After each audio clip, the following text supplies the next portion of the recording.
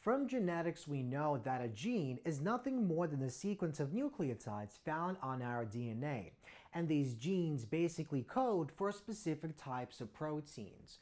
And once the proteins are produced, the proteins can either interact with other genes or the proteins can be used to basically produce some type of trait to express some type of phenotype characteristics of the adult individual. Now, in this lecture, we're going to focus on two important phenomena that exist in genetics. We're going to discuss a concept, a phenomenon known as pleiotropy, and we're also going to look at epistasis. So let's begin by describing what pleiotropy is. So pleiotropy is the process by which a pair of alleles on a single locus on some homologous chromosome affects the expression of more than one type of trait, of many different types of traits. And to see exactly what we mean by that, let's consider albino individuals. So in albino individuals, it's a single pair of genes at some particular locus that actually affects the expression of three different types of characteristics of three different types of phenotype traits. So number one, lack of pigment hair, uh, lack of pigment in the hair hair. Number two, lack of pigment in the eyes. And number three, lack of pigment in the skin. These three different types of phenotype traits are expressed as a result of a single locus. Remember, in any diploid organism, such as humans, every single chromosome comes with a homologous pair. So in this particular case, we have this chromosome number one, and this is the homologous chromosome to this chromosome number one. And because they're homologous, what that means is they carry similar genes that code for the same exact trait or traits. And in this particular case, we have three different traits. So we have allele number one shown in red and allele number two also shown in red.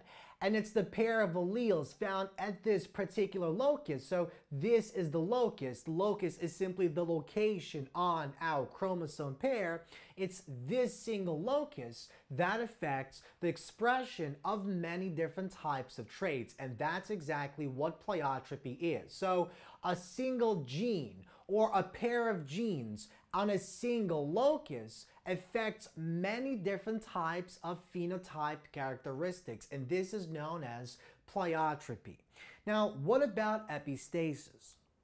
Well, in many cases, a gene creates a protein that goes on to a second gene and that protein affects the expression of that second gene and this process can continue until some type of trait is actually expressed. And this is what we call epistasis. So in many cases a gene at one locus produces a protein that goes on to a second locus and affects the expression of that gene at that second locus. And this is known as epistasis. And in epistasis, two or more pairs of alleles at different loci basically affect a single trait. So to see what we mean, let's take a look at the following example. So this is a simple case of epistasis.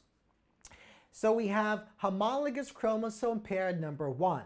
So we have gene number one and it's homologous gene number two. So we have our set of alleles. So these alleles basically express or produce some type of protein. And the protein goes on onto a second different locus. So this is locus number one, and this is a different locus number two.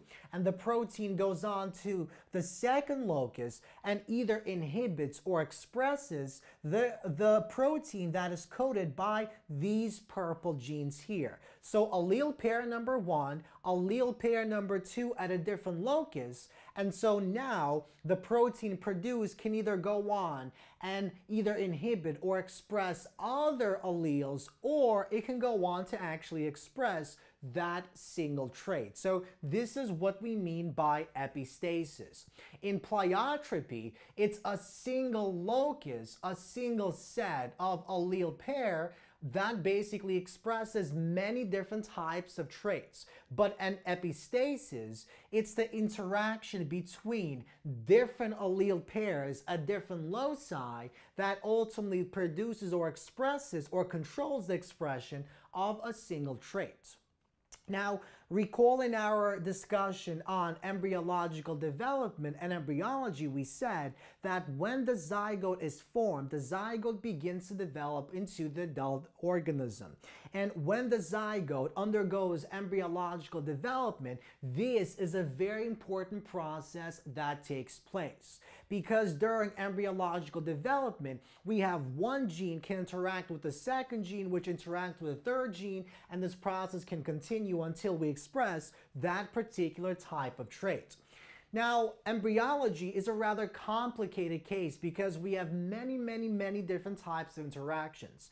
We're going to look at a much simpler case in this lecture. We're going to discuss how dogs basically pass down their coat color. So another relatively simple example of epistasis is the inheritance of coat colors in certain types of dogs. So in certain dogs, we have two different allele pairs at two different loci that ultimately determine the expression of some particular color traits uh, the coat color trait. So to designate uh, these different types of allele pairs, we're going to use the letter D to designate one allele pair and the letter B to designate the second allele pair. So let's begin by supposing that we have a dog that is homozygous dominant. So let's suppose our dog is homozygous dominant for our D gene. And so we have uppercase D, uppercase D. In this particular case, what happens is we're going to have a dark coat color. But there are two possibilities. We can either have a light brown color, so a chocolate color, or we can have a black color. So we have a lighter coat and we have a darker coat. Now, the chocolate coat or the black coat depends on the second gene type. So if we have uppercase D, uppercase D, and we have, let's say, uppercase B, uppercase B, so if we have a homozygous dominant for D, and we have a homozygous dominant for the B, then we're going to produce a black coat color. And likewise, if we have a homozygous dominant for D and a heterozygous for B, so at least one of it is dominant, we're still going to produce the color black. But if we have a homozygous dominant and a homozygous recessive for the B gene, then we're going to produce a lighter color. We're going to produce a brown or chocolate coat color. And the same thing is true for the heterozygous. If we have a heterozygous for our D gene, so if at least one of these is a dominant gene, then we're going to produce a darker coat color. And the options are either chocolate or a black coat color. And once again, if we have heterozygous and a homozygous recessive, then we're going to produce a chocolate color. But if we have a heterozygous either and either this one or this one, so let's suppose this one, if we have these two, then we produce a black coat color. If we have this and this, then we produce a black coat color. So we see that different types of possibilities create different types of coat colors. Now, in this particular case, so we see that if we have either a homozygous dominant or a heterozygous for the D gene, we're always going to produce a dark coat color, either black or chocolate. And these depend on the second type of gene. But if we have a homozygous recessive for the D gene. So if both of these alleles on this homologous chromosome pair are lowercase d's, if they're recessive, then it doesn't matter what the second type of gene phenotype is, we're always going to produce a light coat color. We're going to produce the yellow coat color. So if both of these D genes are recessive if they're lowercase d's, no matter what we're going to have in this case, we're going to inhibit the production of this, and so we're going to get a light yellow coat color. But if it's either homozygous dominant or heterozygous for D, then because we have the presence of at least one uppercase D, that means we're going to have a darker color. And the type or the shade of the dark color depends on if we have at least one of these uppercase B's. If we don't have an uppercase B's on either one of these two chromosomes, we produce a chocolate color, but if we have at least one uppercase B, so here or here, then we produce a black coat color. So this is an example of epistasis. Why? Well, because we have an interaction of at least two different pairs of alleles at two different loci that ultimately affect a single trait. And in this particular case, the trait is the color of that dog's coat. So once again, epistasis is when two or more pairs of alleles at different loci interact with one another to basically produce some type of gene or some type of trait. But pleiotropy is basically the process by which a single locus, a single pair of alleles on a single locus of a homologous chromosome pair basically expresses many different types of traits, phenotype traits, as we discuss in this particular case.